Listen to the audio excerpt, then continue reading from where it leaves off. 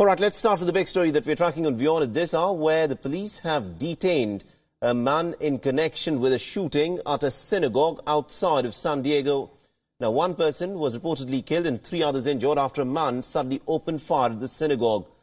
The San Diego County Sheriff has identified the suspect as a 19-year-old man named John Earnest. He's presently being questioned by the homicide detectives now, the gunman opened fire with an assault rifle. He fled from the scene in a car and was later arrested a little while after the shooting. Now, the investigators are also examining a manifesto that the gunman had left on social media, along with other digital evidence.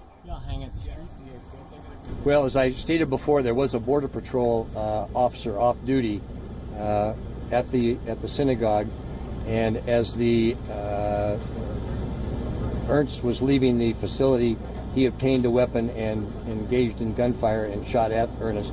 Uh, did not hit him, but there was uh, appears that he did make uh, uh did put some uh, bullet holes in the car that Earnest was driving.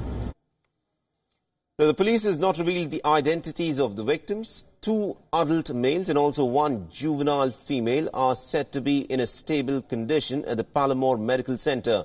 Now, an older woman who was shot at has reportedly succumbed to, the, to her injuries.